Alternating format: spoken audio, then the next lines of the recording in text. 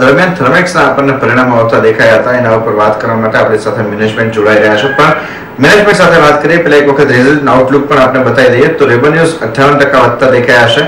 એબિટ જુઓ તો એ લોસની સામે આપણને પ્રોફિટમાં આવતો દેખાયો છે ને એબિટ માર્જિન જે છે, આપણને છ ટકા ઉપર સ્ટેન્ડ થતા દેખાયા છે. પાંચ કરોડના લોસની સામે વાર્ષિક ધોરણે આપણે જોઈએ તો બેતાલીસ કરોડ રૂપિયાનો પ્રોફિટ આવતો દેખાયો છે.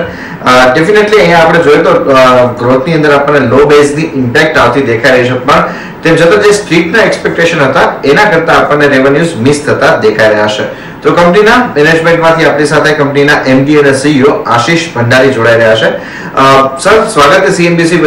और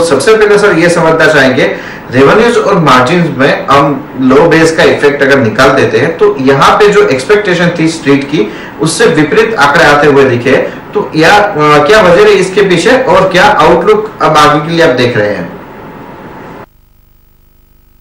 देखिए, हमारी तरफ़ से मार्जिन और रेवेन्यू दोनों में थोड़ा सा घटाव हुआ है। जो साल हमने शुरू किया था, उसके एक्सपेक्टेशंस को देखा जाए तो। जो रेवेन्यू है, उस पर जो इम्पैक्ट हुआ है दो चीज़ों का। एक तो जब मई में कोविड का जो सेकेंड वेव था जब पूरी तरह से भारत में फैल रहा था, तब करीब तीन हफ़्ते प्रोडक्टिविटी हमारी काफ़ी कम थी। उसके बाद भी जो हमारे सब वेंडर्स वगैरह थे, उन पे इम्पैक्ट काफ़ी था। जो प्रोडक्शन था काफ़ी कम था, काफ़ी फैक्ट्रीज वगैरह में लोगों की भी कमी थी। तो ओवरऑल वो तीन चार हफ्तों में थोड़ा इम्पैक्ट था।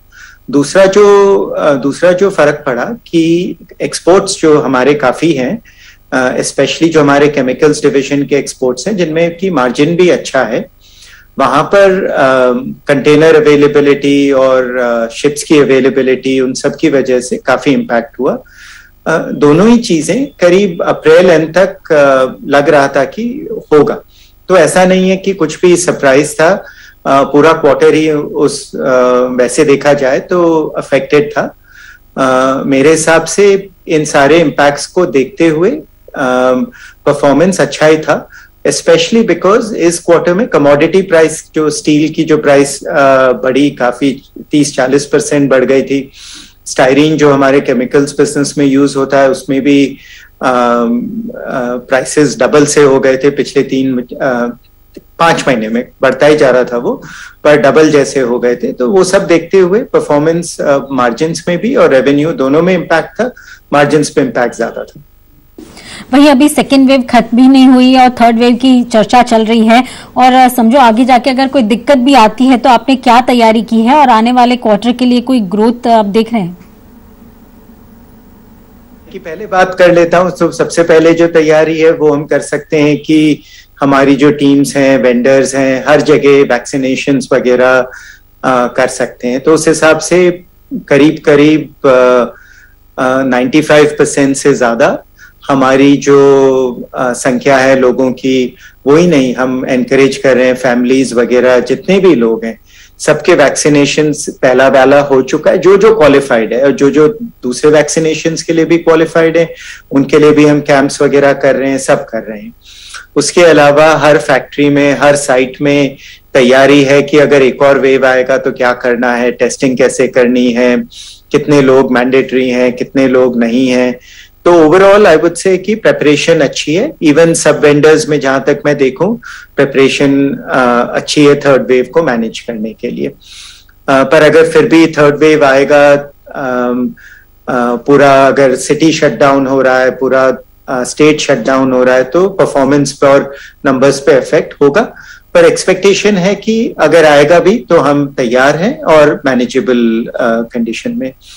तो उसके, उस हिसाब से अगले तीन महीने में भी देखा जाए तो इंक्वायरी ऑर्डर इंक्वायरी पाइपलाइन अच्छी है, पर कस्टमर्स के साथ नेगोशिएशन में काफ़ी टाइम लग रहा है, क्योंकि जो प्राइस इंक्रीजेस हैं कमोडिटीज की जो हम, हमारे कस्टमर्स को पास ऑन करना चाहते हैं, उन सब में काफ़ी नेगोशिएशन है। कस्टमर्स काफ़ी डिस्कशंस हो रहे हैं, काफ़ी लंबे चल रहे हैं। कुछ गवर्नमेंट प्रोजेक्ट्स हैं जिनमें हम एल वन डिक्लेयर हो चुके हैं पर क्योंकि हमारा प्राइस कस्टमर के बजट से काफ़ी हायर है। दो प्रोजेक्ट्स हैं जिनमें हमारा बजट तीस परसेंट से हमारा जो प्राइस है वो वो गवर्नमेंट के टेंडर की जो बजट है उससे तीस परसेंट से ज़्यादा हायर है।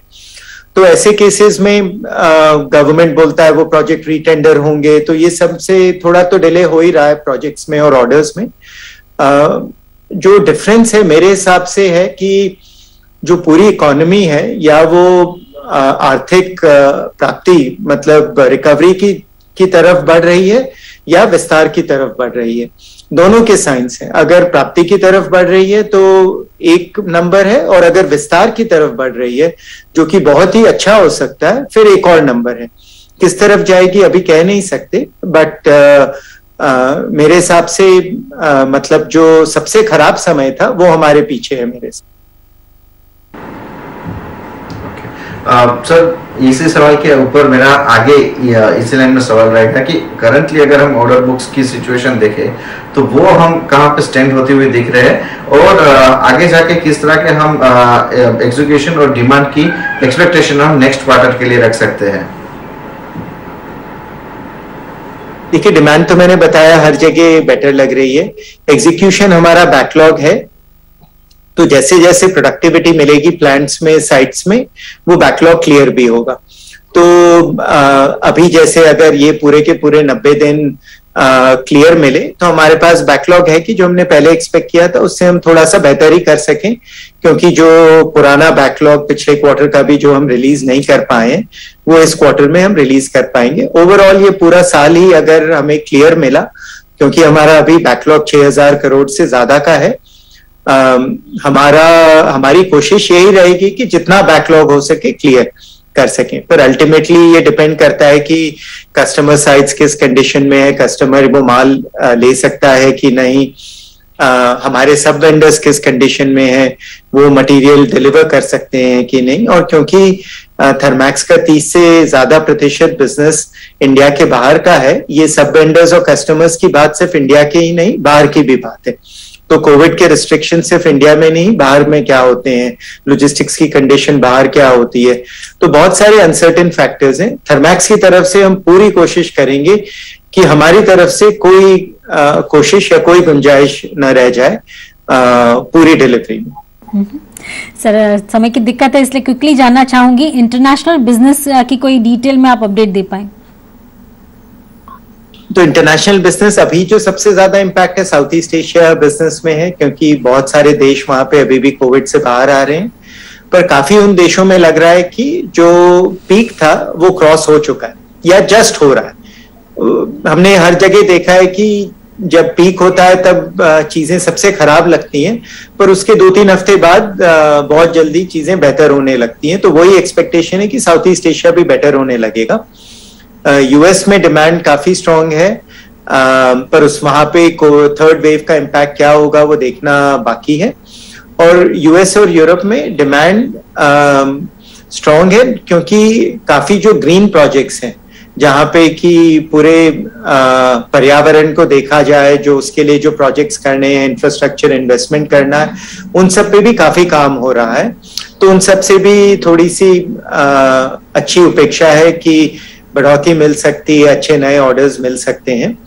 एक सब में जो प्रॉब्लम है कि ट्रैवल नहीं हो पा रहा तो कस्टमर से मिलना मुश्किल है, सामने उनके रहना मुश्किल है, और ट्रांसपोर्टेशन और लॉजिस्टिक्स की काफ़ी चैलेंजेस हैं।